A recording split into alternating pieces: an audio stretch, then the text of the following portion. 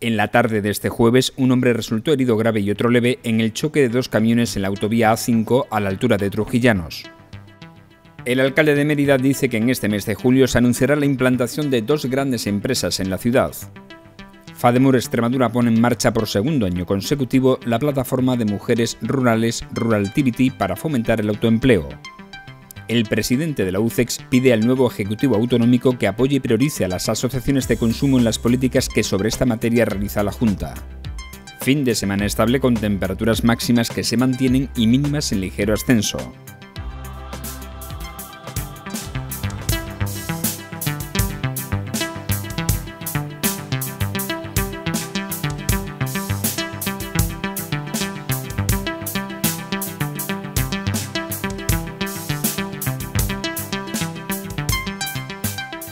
En la tarde de este jueves se produjo un choque entre dos camiones en la autovía A5 a la altura del municipio de Trujillanos, en el que resultaron heridas dos personas, según informa el Centro de Emergencias 112 de Extremadura.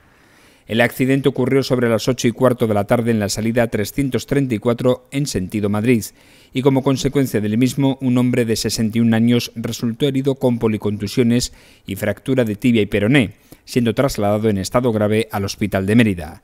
El otro varón de 31 años sufrió heridas leves y no requirió asistencia hospitalaria. Hasta el lugar del suceso se desplazaron recursos asistenciales del Servicio Extremeño de Salud, efectivos de la Guardia Civil, bomberos y un equipo de mantenimiento de carreteras. El alcalde de Mérida, Antonio Rodríguez Osuna, ha anunciado que en este mes de julio se dará a conocer la implantación de dos grandes empresas en la ciudad. Osuna ha señalado que estos proyectos serán presentados en el ayuntamiento en el momento que las empresas lo estimen oportuno. En esta misma materia también ha adelantado que el consistorio creará en breve una bolsa de empleo municipal para los próximos cuatro años. La Federación de Asociaciones de Mujeres Rurales pone en marcha por segundo año consecutivo en Extremadura el programa Ruraltivity, con el que pretende impulsar iniciativas de empleo y educación emprendedora en los núcleos rurales, utilizando para ello herramientas como la información y el asesoramiento personalizado. Favorecer la empleabilidad y promover la inclusión social. En segundo lugar, favorecer la igualdad de oportunidades. Como tercer objetivo, potenciar el autoempleo y las iniciativas empresariales. En cuarto lugar, el dispositivo de apoyo para la formación, información e iniciativas empresariales. Y por último, formar a las empresas a través de las TIC. Unas jornadas de presentación del programa, unos talleres dirigidos a fomentar el empleo y el emprendimiento, una lanzadera de emprendedores rurales.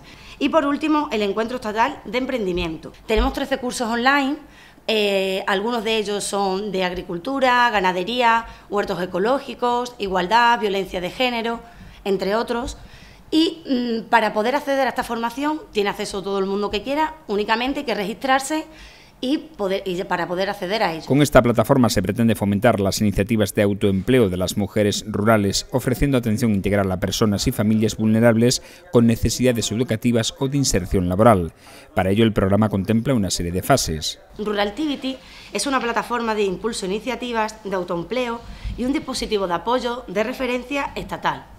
Se ha creado para la formación, información y asesoramiento en el campo de atención a personas con necesidades, con necesidades educativas o inserción social y laboral. Eh, la primera de las fases es semillero de ideas, que es la fase inicial, es cuando tenemos una idea y, nosotros le, le asesoraríamos.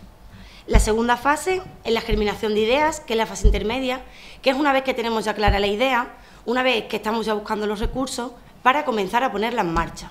La última fase, que es la de floración y frutos, que es la fase de consolidación, que la idea ya se ha puesto en marcha, ya se ha, desarrollado, pero aún así necesitamos ese asesoramiento que nosotros vamos a proporcionarle. En primer lugar tenemos el emprendimiento social, haremos actividades de aproximación, de ocio, educativas, igualdad y demás. En segundo lugar tenemos el emprendimiento verde y llevaremos a cabo actividades agrarias y y de ganadería ecológica, así como en las energías renovables. La presidenta de FADEMUR señala que con esta plataforma se ofrecen itinerarios personalizados que son necesarios para asegurar el papel de la mujer en el mundo rural. En FADEMUR estamos empeñadas en demostrar que se puede intervenir de otra manera y nuestros proyectos y programas son un ejemplo de ello.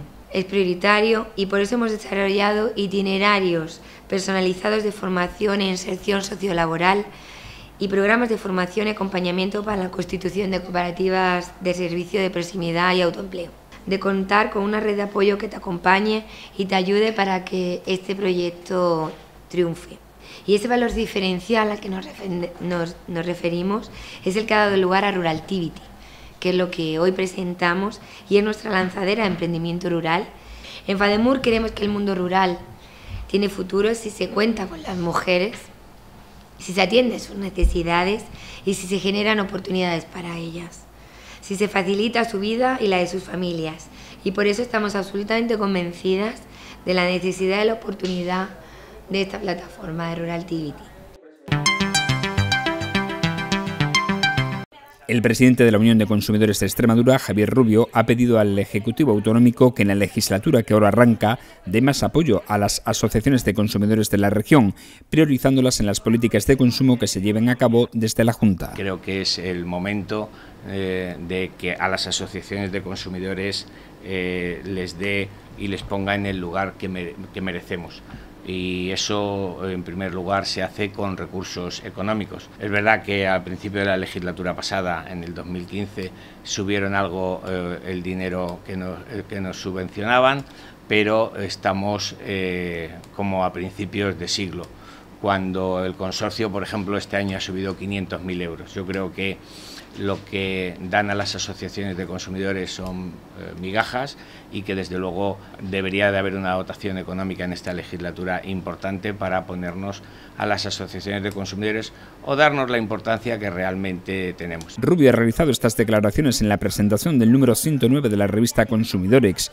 en la que se analizan varios productos como los robots de limpieza, las Smart TV o las normas de seguridad que han de cumplirse cuando se adquiere un dron. Bueno, hacemos un artículo sobre el tema de, los drones. Pues hay que tener cuidado sobre todo con las normas de seguridad que hay que, hay que observar y evidentemente eh, leernos la ley antes de ponernos el uso y también con la privacidad. Grabaciones que se hacen o que podemos hacer que se identifican eh, casas, vehículos, etcétera, etcétera y que eh, a la hora de colgarlos en la red no puede producir algún, algún problema. Es necesario comprarse una televisión nueva porque hay aparatitos que hacen nuestra televisión Smart TV. Un aparatito que mm, antes costaba más caros pero que ahora por 39 euros, alrededor de 40 euros o 50 euros. Hay varios en el mercado que hacen nuestra televisión Smart TV, podemos ver nuestro, nuestro móvil en la televisión, podemos conectar con las cadenas y hemos hecho una comparativa de robots aspiradores porque ya hay en el mercado algunos más y eh, a un precio antes eran carísimos y ahora están mucho más asequibles. En esta misma publicación también se habla de los temas clásicos del verano como son los cuidados de la piel en la exposición al sol o los derechos que tienen los usuarios en el transporte aéreo. Ahora que empezamos a viajar, pues hemos puesto los derechos de, de los usuarios de los aviones, con la pérdida de maletas, deterioro de equipajes y todo esto que ahora nos vamos a encontrar eh, muchos casos. De cuidar nuestra piel ahora que vamos a ir a la playa creo que es fundamental, es un clásico ya en, nuestra revista del mes de julio, tener mucho cuidado con tomar el sol a las horas centrales del día, eh, que nos hidratemos eh, perfectamente, que nos echemos cremas, dependiendo de nuestro color de piel, pues con mayor o, o menor protección, pero Este fin de semana se mantiene estable en cuanto a las temperaturas, con un ligero ascenso de las mínimas. El sol predominará durante este sábado en una jornada con cielo despejado o poco nuboso. Los termómetros marcarán 15 grados de mínima y 33 grados de máxima en Mérida y Almendralejo. Los vientos serán del oeste o suroeste flojos. El domingo se incrementa la nubosidad y se mantienen las temperaturas, salvo las mínimas que suben ligeramente, por lo que el mercurio marcará valores de 16 y 33 grados en la capital extremeña y en la de Tierra de Barros.